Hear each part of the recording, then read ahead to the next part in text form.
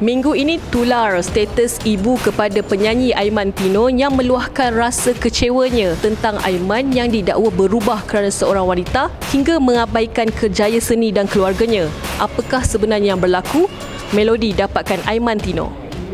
Bencinya aku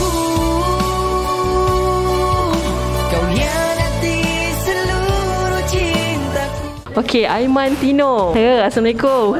Uh, Okey, kita dah jumpa dengan Aiman ni, kita nak tanyalah terus eh tentang tularnya status ibu Aiman yang baru-baru ni mengatakan Aiman lupa keluarga, mengabaikan keluarga, mengabaikan kerjaya. Jadi apa yang Aiman boleh jelaskan dulu tentang status yang tular tersebut? apa yang saya boleh cakap sebenarnya benda ni dari mula sampai kesudah memang salah faham antara keluarga saya dan juga saya. Mungkin ada sebelum ni lama tak balik dalam sebulan macam tak balik. Tapi baru-baru ni saya baru je balik ke Kuala Kubu dan bila saya pulang je dalam dua hari macam tu mak terus update. Mungkin dia ada benda yang tak berpuas hati dengan saya macam tu kan sebab saya tak angkat call. Habit saya memang saya ada satu perangai yang macam susah nak angkat call, susah nak reply bukannya saya lupa dekat mak ayah tak ada. Itu adalah habit saya. PR saya pun tahu macam mana. Nampak eh? Abang Zaman ni tahu eh saya macam mana eh? Tapi saya minta maaf. Ini memang salah saya lah. Kecuaian saya. Saya rasa macam saya punya habit ni tak membawa bala. Tapi sebenarnya membawa padah lah. Inilah kesan dia. Sebab saya tak reply. Saya tak call mak. Tak call ayah. Tapi sejujurnya dalam doa. Nama mak ayah memang nombor satu. Dan bukan itu sahaja dalam status tersebut mengatakan yang Aiman melupakan keluarga, mengabaikan kerjaya kerana seorang wanita yang bernama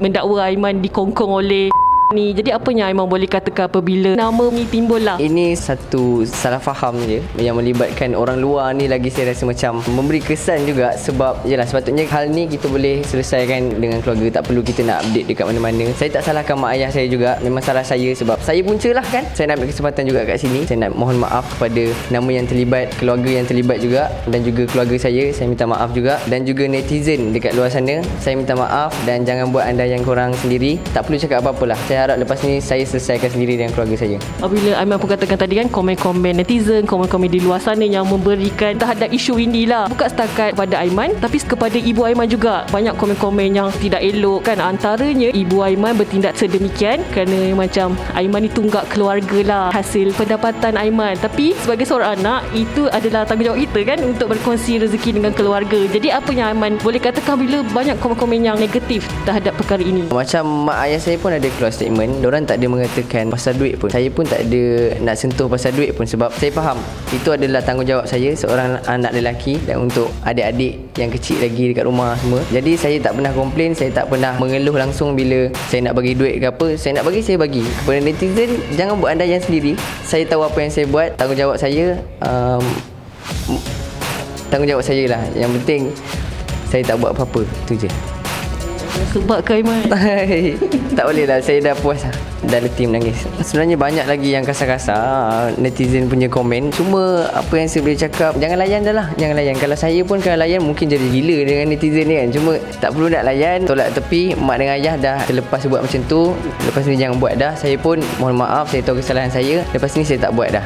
Macam mana dengan keadaan Aiman sendiri dengan keluarga, dengan ibu, dengan ayah? Dah selesai ke, dah berjumpa ke? Dah berjumpa. Hari yang pertama jadi benda ni Saya terus balik ke Kuala Kubu Dan bincang. Memang dah selesai. Dan tak ada apa-apa Bila saya balik-balik ke KL je Saya ada tugas saya. Saya ada tanggungjawab saya juga Dekat luar untuk berniaga Buka kedai semua kan. Jadi dengan adik-adik pun tanggungjawab saya juga kan. Jadi saya dah Saya dah macam tu tau. Cuma saya relax Saya bagi kan. Sekarang ni saya harap mak ayah faham Dan bagi saya masa Untuk saya selesaikan. Mungkin saya boleh set up Untuk ada Head manager saya ke Untuk uruskan kedai. Lepas ni saya boleh balik Kuala Kubu Dan mungkin sebulan dua bulan Saya duduk Kuala Kubu Okey je Memang tak ada masalah. Dan saya harap lah Satu lagi mak ayah Jangan post apa-apa dah. Itu je. Saya nak minta maaf juga Kepada peminat Mungkin korang ada Terasa hati juga Bila jadi macam ni. Apa pun saya minta maaf sangat-sangat Terima kasih Kerana bagi positif punya ayat Dekat Instagram. Terlalu banyak Bagi semangat dekat saya Dan kita jumpa Bila-bila masa nanti InsyaAllah. Dan teruskan sokong saya. Tunggu lagu terbaru saya Okay